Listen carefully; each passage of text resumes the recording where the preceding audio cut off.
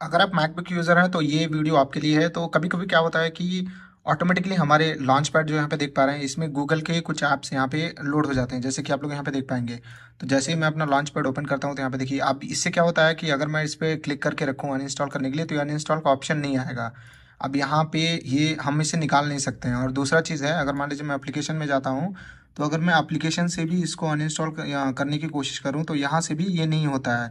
मतलब वो एप्लीकेशन यहाँ पे अवेलेबल रहते नहीं है। तो इसको, इस वीडियो में आपको दिखाऊँगा कैसे आपको उसको यहाँ पे रिमूव करना है। तो आपको सिंपली क्या करना है, अपने सिस्टम प्रेफरेंस प्रेफरेंसेस में चले जाना है, यहाँ पे देख पाएँगे। यहाँ जाने के बाद जनरल पे क्लिक करें जनरल पे क्लिक करने के बाद स्टोरेज पे क्लिक करें स्टोरेज पे क्लिक करने के बाद यहाँ पे देखिए एप्लीकेशंस का यहाँ पे ऑप्शन दिख जाएगा आपको। आप यहाँ पे इस आइकॉन पे क्लिक करें और यहाँ पे देखिए हमारा जो, अब जैसे कि यहाँ पे देखिए यूट्यूब है, आप इसे राइट क्लिक करिए डिलीट करिए और यहाँ पे देखिए हमारा लॉन्च पेड से यहाँ से हट जाएगा। तो इस तरीके से आपको यहाँ से रिमूव करना है, जैसे कि आप लोग यहाँ पे देख पाएँगे।